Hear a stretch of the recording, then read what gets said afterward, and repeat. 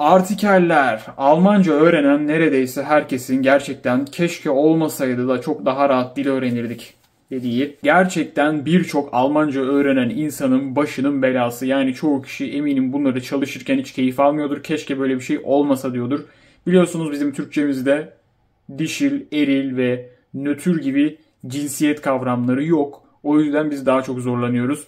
Ama şöyle bir durum da var. Mesela Arapça veya işte İspanyolca bilen birisi içinde bazı karışıklıklar oluyor. Çünkü bir dilde eril olan bir nesne başka bir dilde dişil olabiliyor. Böyle durumlar da var. O açıdan biraz da şanslı da diyebiliriz kendimize. Peki artikelleri bilmeden Almanca konuşabilir miyiz? Almanca'da artikelleri gerçekten öğrenmemize gerek var mı? Arkadaşlar şunu net olarak söyleyelim. Almanca'da bu artikelleri siz sadece cümleyi kurarken kullanmıyorsunuz. Aynı zamanda cümleyi belirtirken, cümleye yönelme hali katarken, ayrılma hali katarken farklı farklı durumlarda bu artikelleri kullanıp bunları çevirmeniz gerekiyor.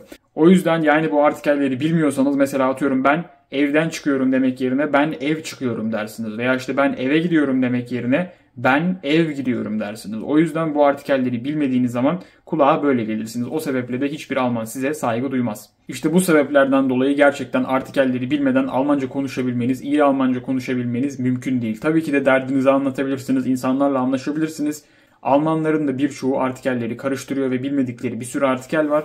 Ama bilmediğiniz zaman yine de ona göre dea veya di artikeli kullanabilirsiniz ki ondan sonra tabii ki bu artikele göre ismin hallerini değiştiriyorsunuz. İşte akuzatif, nominatif, datif gibi. Artikelini bilmiyorsanız benim tavsiyem artikeli dea'mış gibi düşünün. Çünkü dea artikeli gerçekten çok yaygın. Aynı şekilde eğer kulağınızda böyle kelimenin sonu böyle i ile falan bitiyorsa böyle melodi gibi falan bitiyorsa di artikeli diyebilirsiniz. Bir kelimenin artikelini bilmiyorsanız bence dea olarak tahmin edin. Özellikle sonu er ile bitenlerin çoğu dea oluyor. Onun dışında yine di artikelleri de çok yaygın ama das artikeli gerçekten çok azdır. Bir kelimenin artikelini bilmiyorsanız bence das olarak tahmin etmeyin. Das olanları oturup ezberleyin. Gerçekten artikeli das olanları oturup ezberleyin. Çünkü bunları öğrenmeden hiçbir şekilde artikel işini çözemezsiniz. Onun dışında bütün bu dea, di, das artikellerinin belirli ekleri var. Mesela height, kite ekleri alan kelimelerin hemen hemen hepsi die artikeliyle kullanılıyor. Die, die Gesundheit. Aynı şekilde bir kelime küçültme eki aldıysa, hen şeklinde bir küçültme eki aldıysa bu da das artikeline dönüşüyor. Bu konuya bir örnek verelim arkadaşlar. Masa değil mi? Masanın artikeli der, der Tisch.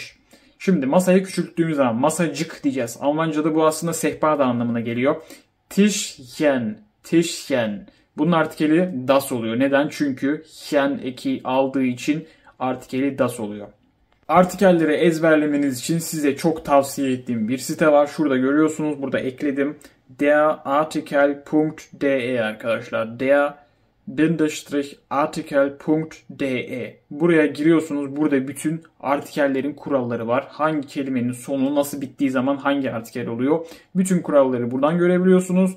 Onun dışında altında Übungen diye bir kısım var. Dikkat edin. Kaydırdıktan sonra Übungen diye bir kısım var.